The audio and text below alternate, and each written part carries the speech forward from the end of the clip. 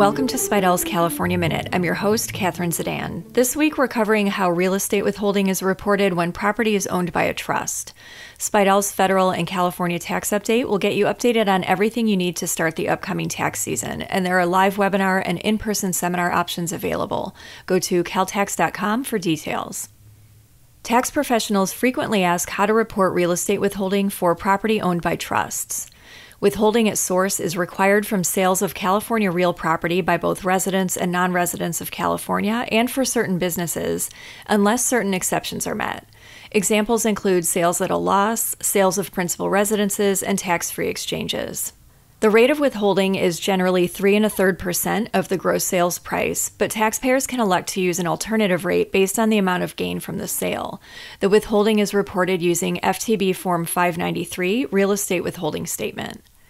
On Part 2 of Form 593, the withholding agent, which is usually the escrow company, reports the property seller's or transferor's name, tax identification number, and address information. When trusts are involved in selling the property, the information provided depends on whether the trust is a grantor or a non grantor irrevocable trust. If the property is sold by a grantor trust and the grantor is still alive, the withholding agent should enter the name and social security number or ITIN of the grantor, not the name of the grantor trust or the trustee information. The grantor will report the income from the sale and claim the withholding on their individual income tax return. If the grantor died prior to the sale, then the grantor trust becomes an irrevocable trust and the non grantor trust reporting requirements apply. The withholding agent should not enter the decedent's or trustee's name or social security number in Part 2. If the property is sold by a non grantor trust, the trust's name and FEIN should be entered in Part 2 of Form 593. If the trust distributes the income from the sale to the beneficiaries, the trust also is required to pass through the withholding to the beneficiaries. To do this, the trust files FTB Form 592, Resident and Non Resident Withholding Statement, and provides the beneficiaries with FTB Form 592B, Resident and Non Resident Withholding Tax Statement.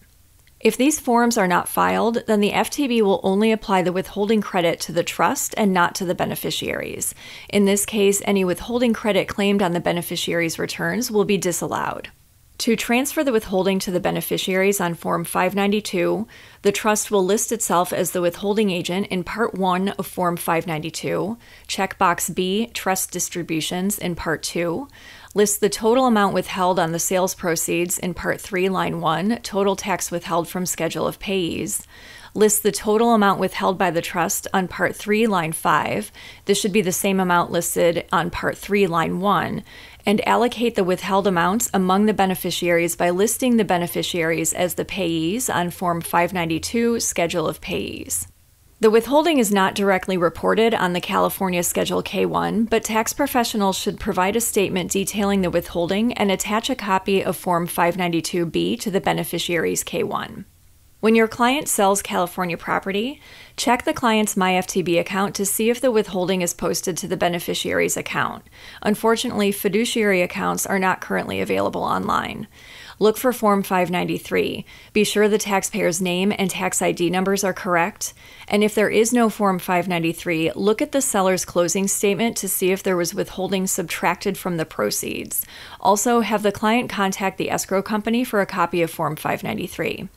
If there's a problem with any of these items, contact the FTB's Withholding Services and Compliance section. To stay up to date with California tax law changes, subscribe to Spidell's California Taxletter. This monthly newsletter is written by California tax pros for California tax pros in plain English with helpful examples and charts. For subscription information, go to caltax.com and click Publications. That's all for this week. Join us next time for another episode of Spidell's California Minute.